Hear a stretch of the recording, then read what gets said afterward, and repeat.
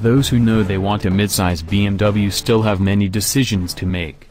BMW's 3 and 4 Series family now contains 25 permutations spawned from 6 body styles, 5 engine choices, and 2 driveline configurations. Among such sprawling variety, this BMW 435i Gran Coupe stands out as one of our favorites. The Gran Coupe's wide stance and sleek roofline make it the most attractive of the bunch to our eyes. In profile, the notchback tail could pass for that of a traditional sedan, but pop the decklid and a liftgate hinges open from the roof for added utility, especially with the rear seats folded. That added practicality does come with a surprising weight penalty, though.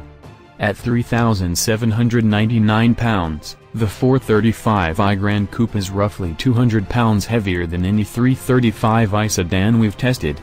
And the 435i Gran Coupe's panache isn't free, either. Its base price starts $2,050 higher than that of a 335i sedan, although it's less expensive than a two-door 435i coupe. The 435i drives much like the lighter and cheaper sedan. The turbocharged inline-six spins to its 7,100 revolution per minute redline with a silky burr and intense enthusiasm. At the track, the 435i turned in a 4.9 second run to 60 miles per hour on its way to ripping through the quarter mile in 13.5 seconds. We've rarely quibbled about F30 series BMW's straight-line performance and we're not about to start now. It's the chassis that leaves us wanting. The Gran Coupe's skid pad and braking figure